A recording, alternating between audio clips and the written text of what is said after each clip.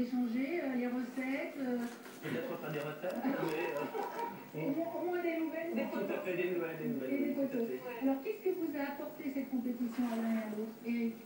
Eh bien, écoutez, moi, euh, là, je me suis lancé aujourd'hui. Donc, euh, aujourd'hui, je donne des cours de cuisine chez un ami restaurateur traiteur. Et euh, grande nouvelle, je lance ma propre ligne de macarons, donc 15 macarons inédits. J'entends donc tout est travaillé en duo. Par exemple, je sais pas, je fais macarons au chocolat avec un cœur coulant en caramel, les coques sont chocolat et caramel, une citronnelle fraîche. Enfin, j'ai 15 macarons qui n'ont, à mon avis, jamais été mis sur le marché. Donc, je lance ma propre ligne de macarons.